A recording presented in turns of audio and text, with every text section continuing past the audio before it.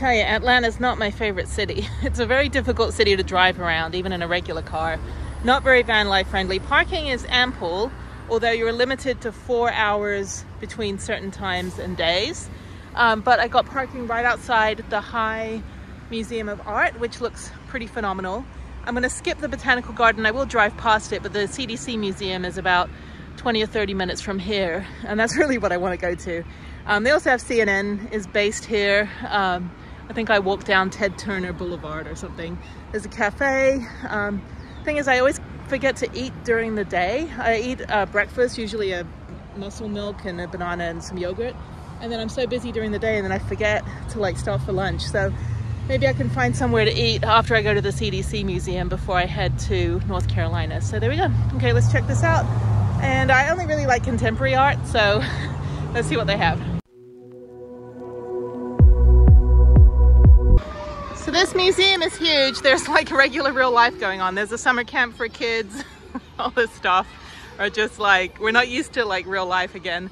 Uh, anyway, this reminds me a lot of the LACMA in terms of size, but we'll check it out. Got an hour and a half on my parking and then, uh, oh, there's a shop. Always looking for fun things for the van. Okay, going on. Okay, there are three buildings and they're connected by bridges or I think underground not a quiet museum. There's a bunch of summer camps going on, so uh, I have my not loud shoes on. Um, but if you have loud shoes, it doesn't matter because it's very loud in here right now, which is fine. I guess they have like a children's area, more children's area, so like kids stuff. So I'm just gonna go this way and figure out, um, they have maps, but I figured it's pretty intuitive. I mean, three buildings, a lot of art, so this is really cool. Great building.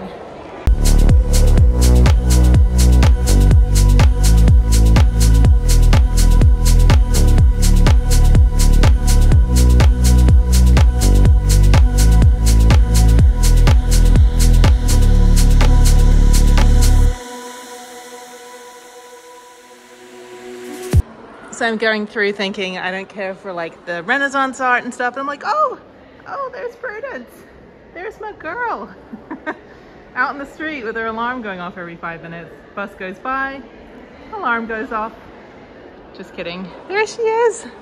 That is the best thing that I've seen framed. Look at that. If that was a picture frame, it would be worth billions of dollars, literally priceless. Move over Mona Lisa. Picture of Prudence going in the Louvre right now. Yeah, growing up in the UK where everything was just old and freaking statuesque and dusty and all that, so I didn't really care much for this. When you see one statue, you've seen them all. Um, anyway, unless I see one in like an antique shop or, you know, thrift thrift shop or something, and then I buy it and it's worth like bazillions of dollars. Yeah, not really into portraits. They never really look like the person that they painted because, I don't know, I guess no cameras back then, right? yeah. Anyway. Beautiful building though. I think i'm more impressed by the building than i am about like the permanent exhibits but it looks like there's mind-bending contemporary art on the third floor. So i'm gonna head up there now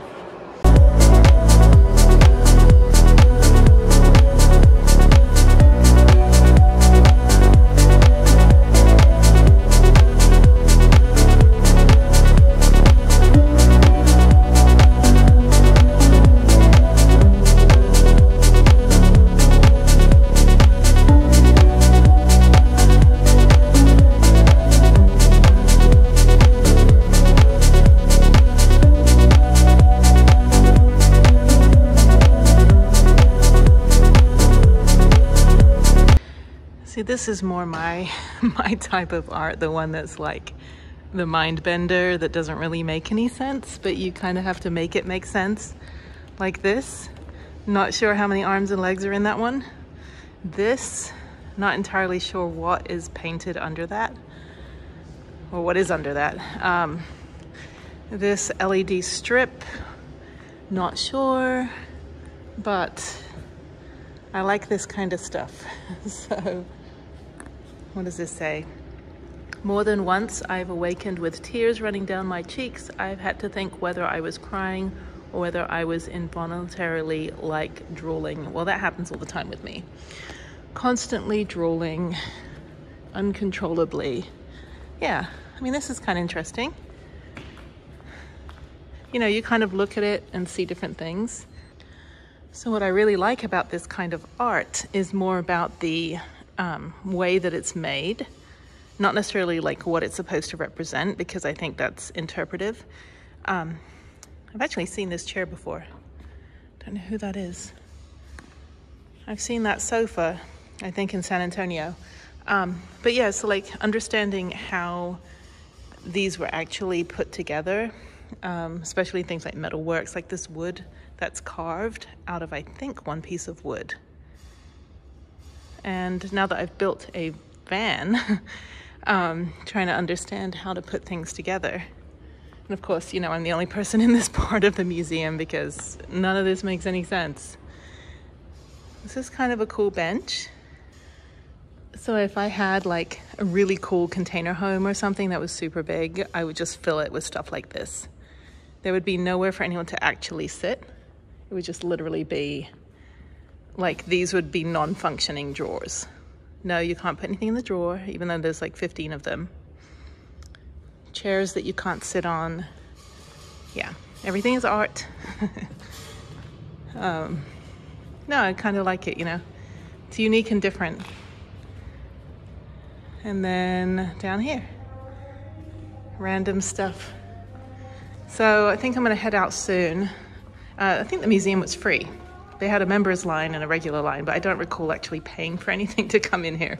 So if I ever come back to Atlanta, um, I won't come on a holiday weekend and I will definitely explore more. But this is pretty cool. Yeah, I need to learn how to weld, mostly because I need to make a um, spare tire rack for the back of my van and maybe some art.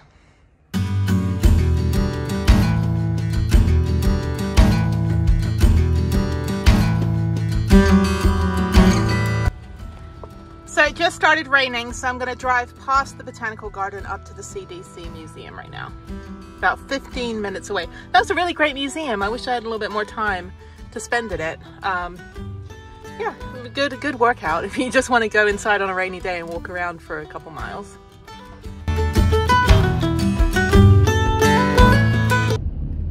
Okay, this is the Botanical Garden. Beautiful, beautiful neighborhood that I just drove through. People that have far more money than I have. Um, origami in the garden, that looks fun and interesting. Actually, I got to speak Japanese to some people at the Coca-Cola Museum. Uh, these three ladies were like asking me um, uh, to take their photo and then they said arigato and I said, oh, I speak Japanese. So, all right, so I'm just gonna pop in for a second and then turn around and leave. So yeah, too wet, rainy, humid, and gross to be walking around outside right now, even though rain is my favorite weather. I do want to get to, um, oh, that's pretty. There's a little flower over there. Um, I do want to get to my campsite, as I said. I think I've got three hour drive to North Carolina. Um, so yeah, so, oh, there's a gate, that's fun. All right, I'm gonna turn around.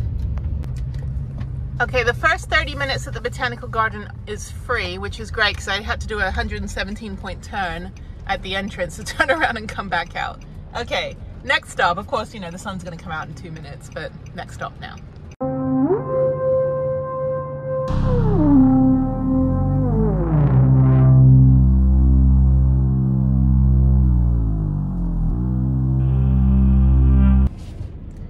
So my next stop is the CDC Museum, since the Centers of Disease Control are here in Atlanta. Just checking to make sure there's not another pandemic I missed out on while I was doing van life and off the grid. Um, they're pretty thorough in their check-in. They got clipboards and security guards, yellow vests. One guy is leaning. You know it's like super secure when like one guy is leaning. Like the supervisor guy is like, I'll just lean. What do they say in the army? You got time to lean, you got time to clean. I don't think I want to say anything here. I'll probably get escorted off the premises. So best behavior and uh, yeah, my hair is nasty, nasty, humid hair right now.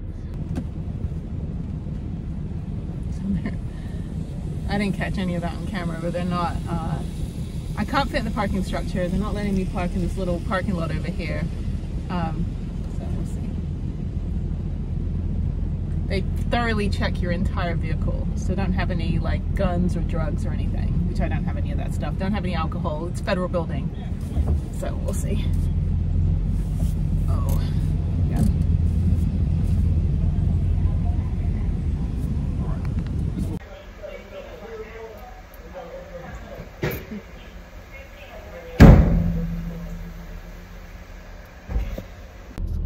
So he's gonna let me park where that shuttle is and they're just gonna let me park there all day. So if you're in a van, you might have to like talk to security about letting you park right here in the rain front and center. So pretty good. I know I will not fit under that thing.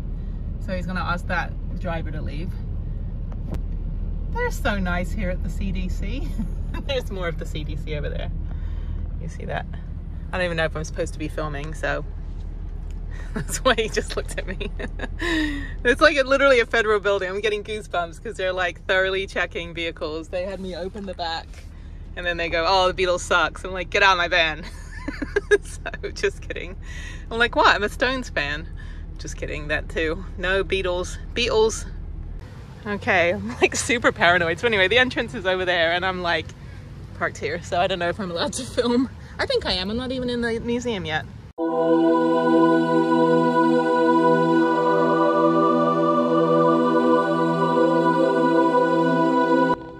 My first stop is the typhoid room, which I actually have the typhoid vaccination, as you can see.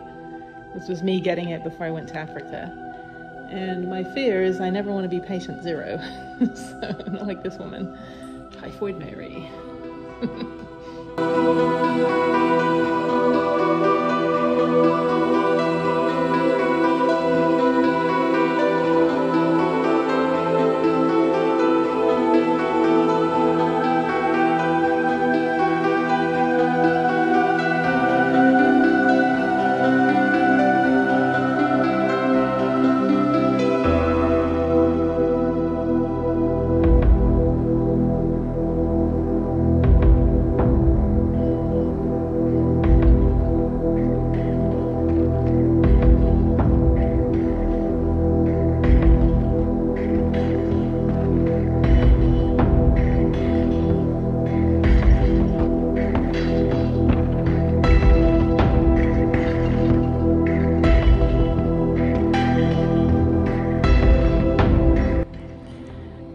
what's funny is I actually worked on this movie and we were trying to figure out how to make the um, little billboards like this at the uh, bus stops uh, actually have bacteria inside.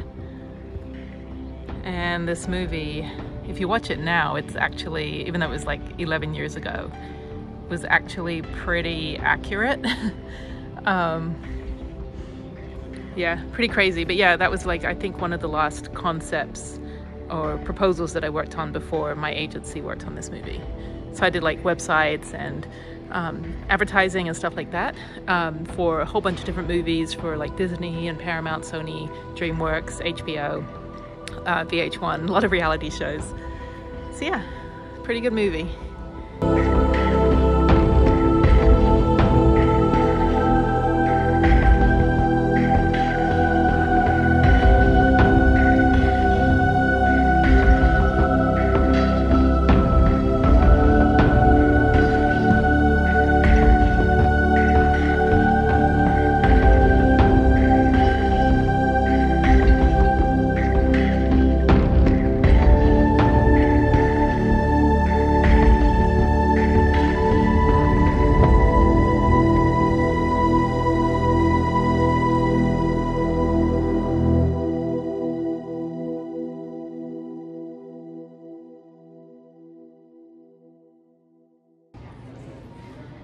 See, this is the most fascinating. I think there's like one person left in the world that is still living, I think in Dallas, in one of these.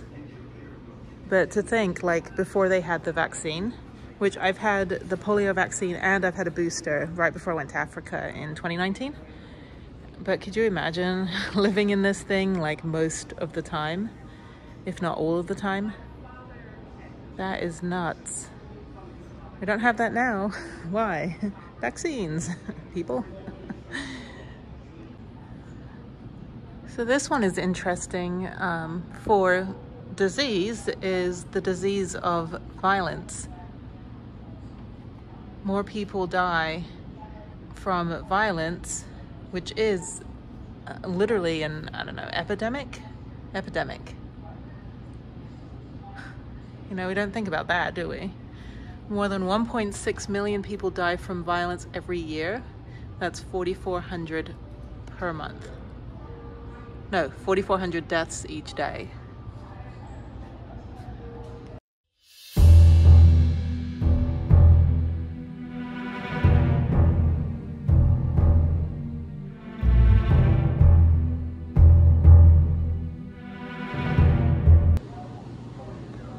So after going through all that, they're like, don't worry. it's like, I am terrified right now. so, all right. Uh, I'm, all I am right now is worry. Legionnaire's disease, Ebola, COVID. it's like, I don't want to like cough or sneeze or breathe or like scratch my face. so, what do we have here? I learned something. Okay. This is interesting. I don't think they have a gift shop.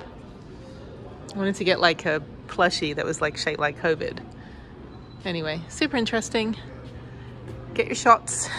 so I've been to 89 countries and I've had pretty much every vaccine you could possibly have and I've never had any of the diseases that I have been vaccinated for.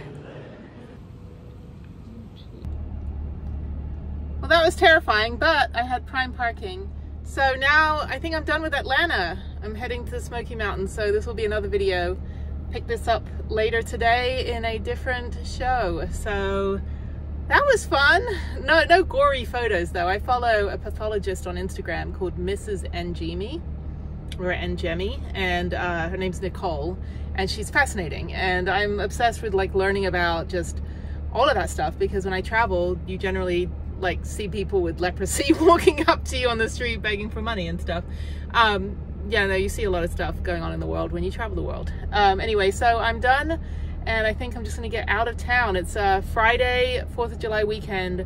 Do not wanna be stuck in Atlanta traffic. So Atlanta is not a very van friendly place, not a lot of easy parking. Um, if you're in a bus, you probably wouldn't be able to navigate most of the roads. It took me through some really nice neighborhoods, but um, if you're in a van, it's fine. But if you're in, in anything bigger than I guess a large Mercedes Sprinter. Because I figure like if Amazon trucks can get through, then obviously the neighborhood's fine. But anything bigger than that, you're pretty much SOL. All right, it is muggy, gloomy, no sun, and I'm gonna head out of here now.